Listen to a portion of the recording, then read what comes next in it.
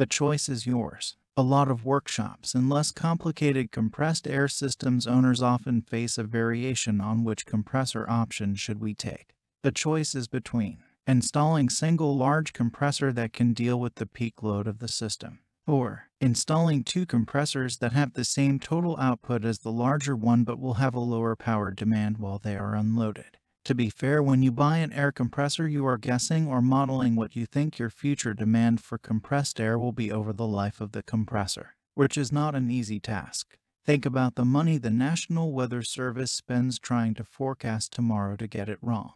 There are other options too such as a variable speed drive or modulating inlet air compressors, as well as system design features like storage tanks. The best choice of air compressor depends on your duty cycle. Just in case, duty cycle is the amount of time it needs to be running at full capacity. The rest of the time it is running unloaded. So 60% duty cycle means your air compressor will run at full capacity 60% of the time and be unloaded the remaining 40%. However, it will turn on and off based on the demands of your compressed air appliances. So if you need a series of air tools to run 10 hours a day, then the demand is fairly constant.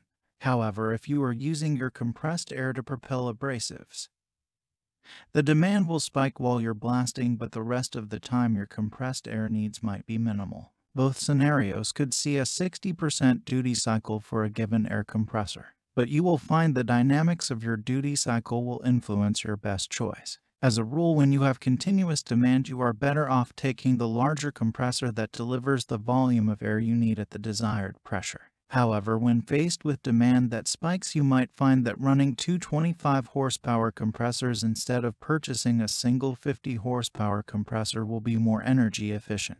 It means you'll still be able to meet peak demand, but you'll consume less power while your compressors are idle or your compressed air consumption is low enough that a single compressor can fulfill the demand. Then the second compressor can provide the additional air when it's needed. This sort of lateral thinking is necessary when you are looking to buy your next air compressor. Power consumption represents up to 75% of the total cost of ownership of an air compressor while the purchase price is usually 10 minus 15% it can make sense to invest a little extra upfront to slash your power bills. If you are looking for a collaborative approach to getting a more efficient compressed air system, then contact the team at Pye Barker on 404 363 6000 or drop us a line sales at pyebarker.com and we can help find the right compressor solution for your situation.